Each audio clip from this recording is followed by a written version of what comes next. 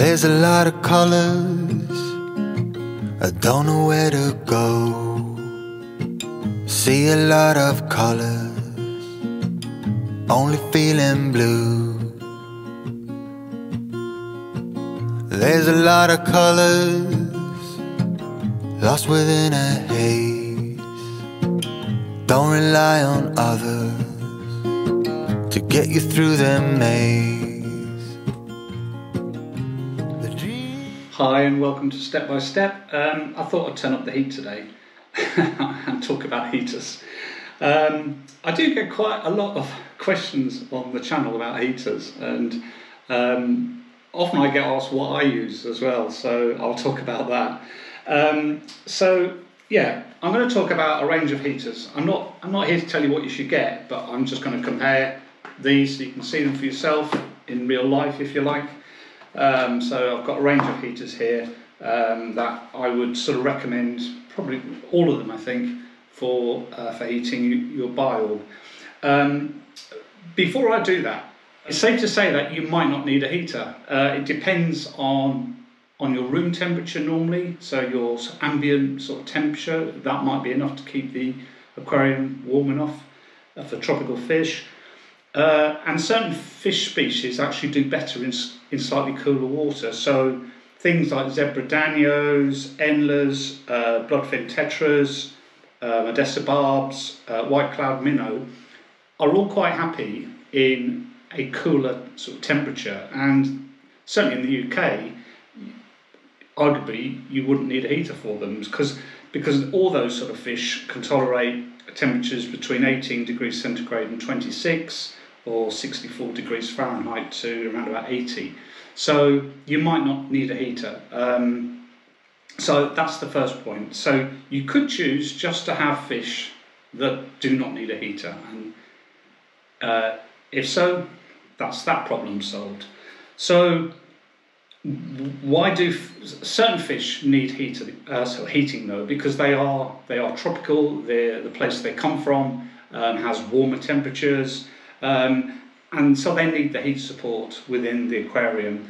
But also, certain fish also can't uh, tolerate swings or, or changes within the environment that they live in. So a heater keeps the the temperature within the aquarium at a fairly stable sort of rate, which is more akin to the uh, the habitat they're from. So so that's the introduction as to whether you need one or not. From a biorb uh, perspective, or certainly from my perspective, what would what would I be looking for in a heater? Well, um, one that's the right size for, for the aquarium, um, something that's small, uh, something that's fairly discreet, and a big one for me is something that is fully submersible. Now, not all heaters uh, can be fully submersed. Some need to be towards the top, you, you know, at the, at the top end, actually showing above the water. I think for me, and probably most uh, viewers, uh, would want one that is fully submersible. So make sure, if that's what you want, that that is exactly what you're getting. Um, another thing might be uh, positioning of of um, uh, the heater as well.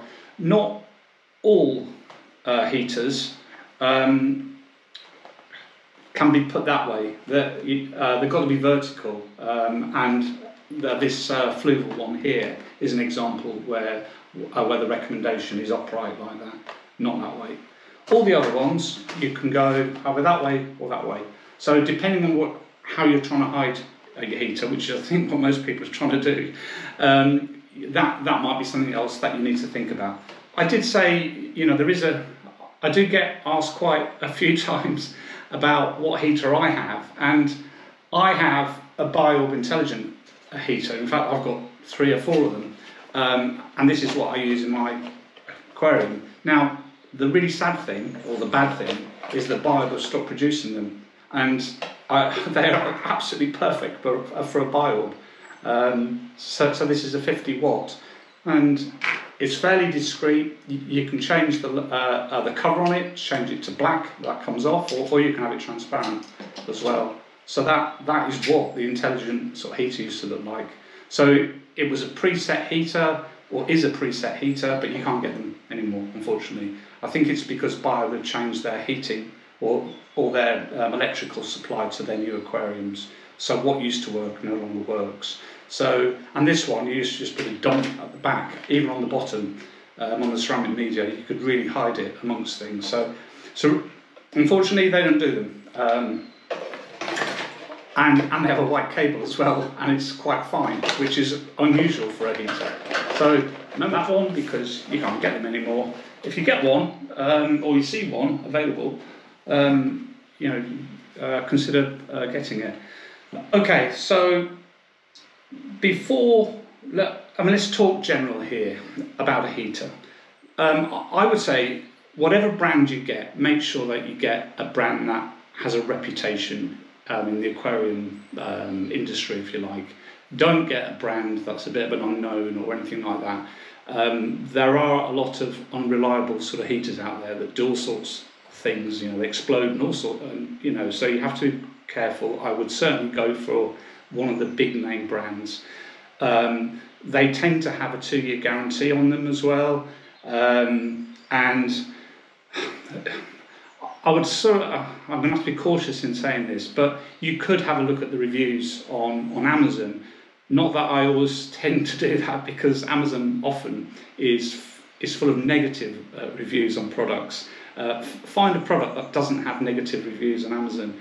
Uh, mainly because the people that are motivated uh, to make a comment on something are those that, that want to say something negative. So it's not always it's not always the best uh, thing to look at, but but certainly you know take it with a bit of sort of pinch of salt if you like.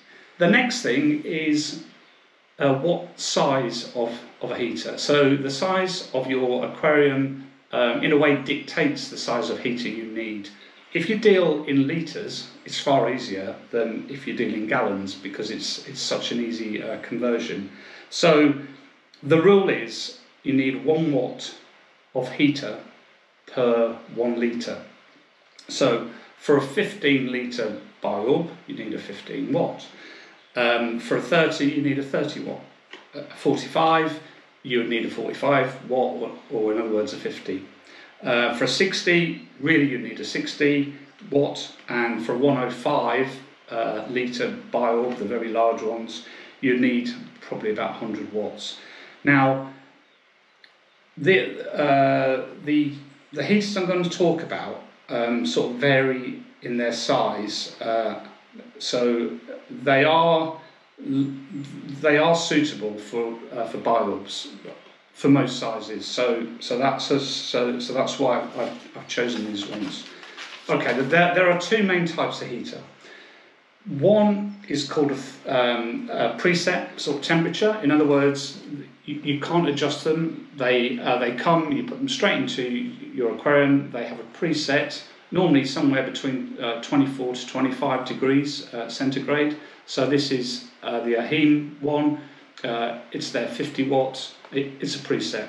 The, the Biorb one I just showed you, one I have in this aquarium, is also a preset. So you can't adjust it. It, it, it reaches a certain temperature and, and, and, maintains that temperature. So, so this is an example of a, a preset. Uh, uh, many other types, um, oh, I'll show this one because it's got a nice picture on. Uh, on here, have at the top um, an adjuster, so you, you can actually adjust the, uh, the temperature that you want. And, and they tend to, around about, they tend to be between 19 degrees to around about 30 degrees, uh, and, and you can set that. Now, I think if you are using one of these adjustable ones, you, uh, use the scale on them as a guide, but for example, if you put it at, uh, say, 24 and a half uh, degrees centigrade, uh, use the thermometer to make sure that that heater is providing that heat because it, it will vary according to your aquarium. So if it needs to be, if you find even it's set at, at 24.5, if that's, if that's roughly what you wanted, but the tank is only maintaining a heat of 23, you'll just have to turn up the heat a bit more. Uh, so anyway, so that, so that, you know, just a, a, note of caution on there. Uh, let's talk about products then. So I'm going to start with Biorb, and funny enough, it's also not just a Biorb, it's actually produced by Hydor. So I've got another one here from them. Um, so uh, this is the Biorb uh, 50 watt, and they only do one heater, which is why I'm going to talk about some other ones. So this is what this looks like if you haven't seen one before. Um, it's fairly fairly small in, in terms of a heater. I'm sorry, I'm going to have to open the packaging. And it looks like that. So, yeah, quite uh, quite a nice size. Um, unfortunately, black cabling. It's got the means to put it onto a, a flat uh, back aquarium. You know, so you just suck that on, uh, stick it on, I should say.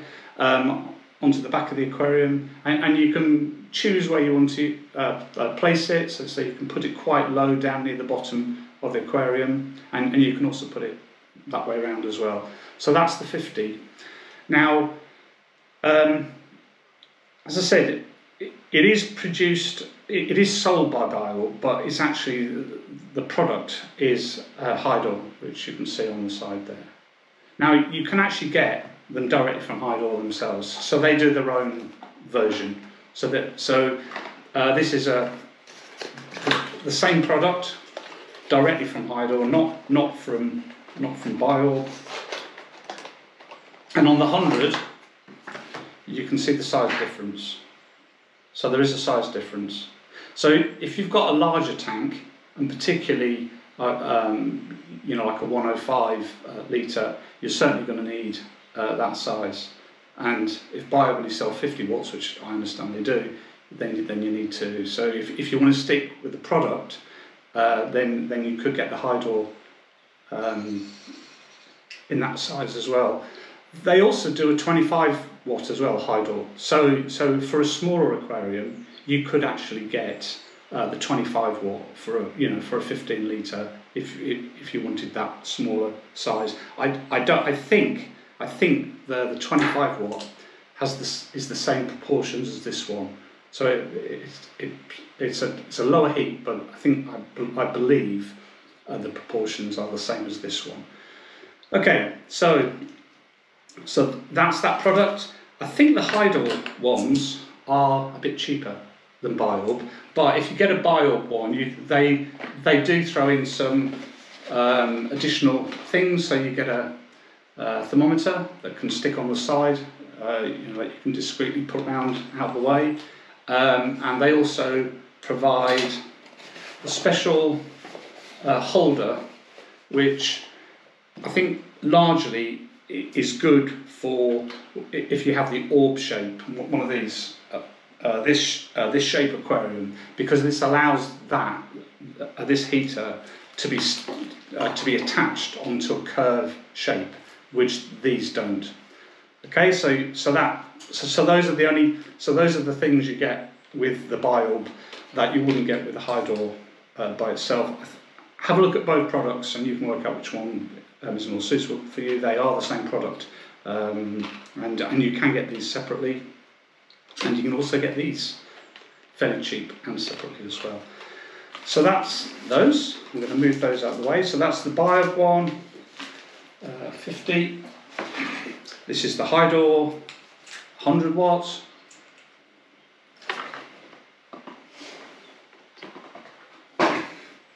And the next one I'll talk about is, I'll get rid of this box, is uh, the Eheim one. So this is, uh, this is the only example in these ones I'm, I'm just showing now that is a preset. So that, this is what this one looks like. So again, it comes with attachments, uh, you know, so that you can attach it to the glass on your aquarium. I think it comes with two of those. You get the idea. Um, there you go. Okay, so no, it comes with one. So so that just goes on onto here, uh, clips on, and, and, and that's the size. Oh, you do get two. So on this suction cup here, it, it fits into here, so you can have one there, but then the other, look, the other one uh, can be attached further up again uh, with a suction cup on, and that's what that looks like. So that so that's a that's a preset 50 watt. Um, now, I believe on this one they actually they recommend it for a volume between 25 litre and 60 litre for this one. So it's quite actually it's quite a nice little uh, sort of heater, I think. Um, so that so that's that one. Now, get rid of that. Now we're going to move to Fluval, and again, they are a big name in um, lots of things to do with aquariums. So, the, so the, uh, this is uh, the Fluval one. Now, in comparison, and, and this is a um, uh, this is a 50 a 50 watt, but but you can see the length of it. I'll compare that to the, the 50 in the Biorb. It, there's quite a, a, size difference. The good thing about this, it has this uh, a reflective technology, which is, is, supposed, uh, is supposed to make it more discreet within the water. So apart from, you've still got the black cable tied. I don't know why they insist, people insist on having black cables, um, and they're always very thick as well. Um, there must be a reason for that. But it, if you've got a black aquarium, you know, rather than white, um, it, it probably would fit quite nicely up against um, you part of the aquarium that's black. So, so that's what that one looks like. Um, yeah, so that so that's a 50 as well. Again, adjustable on the top, so you just adjust uh, the temperature uh, setting. Again, fluval, uh, very reliable, two-year guarantee. All, all of the products, I would say, are reliable. So, so those are your choices. Now, you, you might say, um, in terms of this, you know, I mentioned about the, I think a good example is if you have a 60 litre aquarium, because really what that is saying you need is a 50 watt heater rather than the Biorb one. Now, I should also say that it, it, it's about the total amount of uh, sort of water. If you take out all your decorations and all those other things, uh, you're you, you, know you, going to have a, a smaller amount of water than what's in your aquarium. So I would generally say that a 50 a 50 watt is fine in a 60.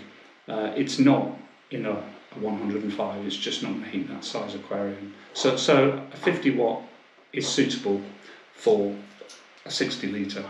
Yeah, going back to my point, you might say, well, why don't I just get a much bigger heater than uh, than the tank? You, you, know, instead of getting the 50, why don't I? And you know, if it's on that on, that sort of margin between uh, one size of heater, why don't I just go for the big one, the larger? Or why don't I get a really big heater?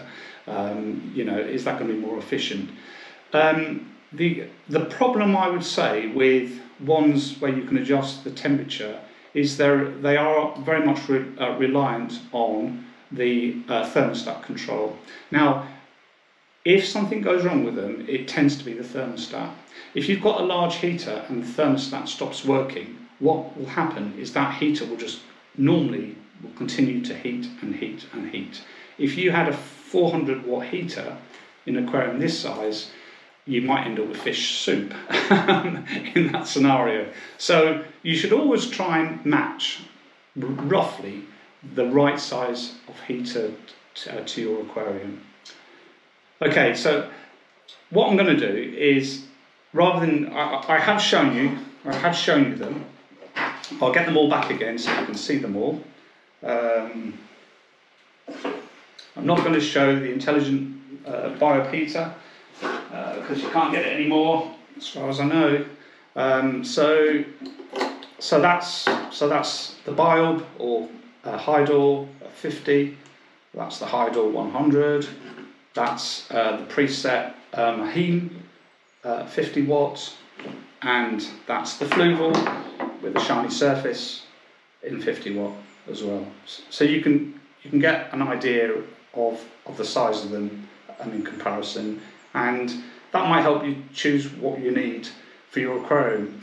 Now, what I'm going to do, I always like to go a bit further uh, than, uh, than other people. um, what I'm going to do is I'm going to put each one of these heaters in this aquarium.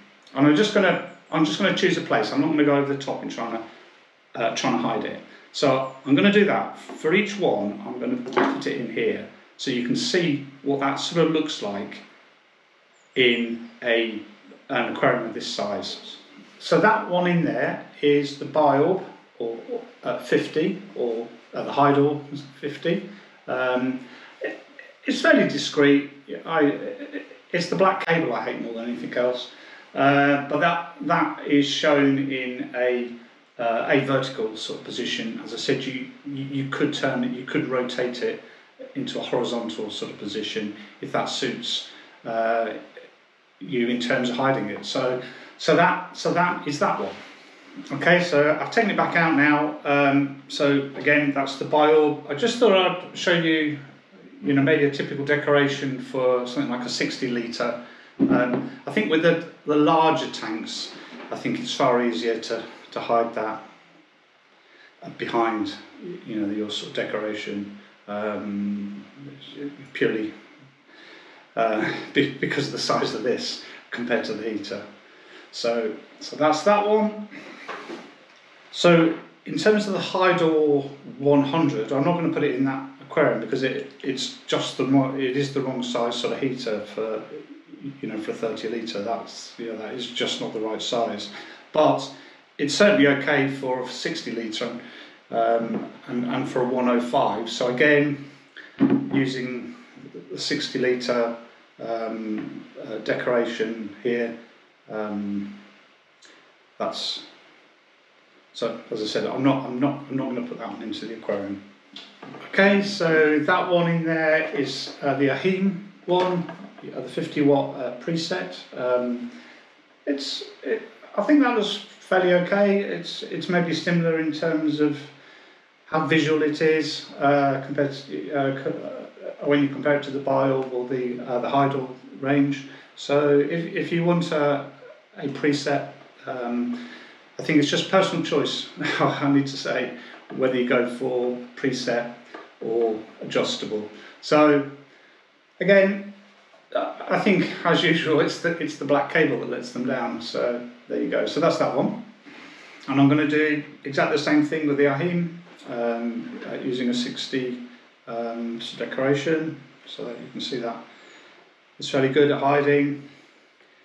Um, Again, on this one, you can use either that way or that way.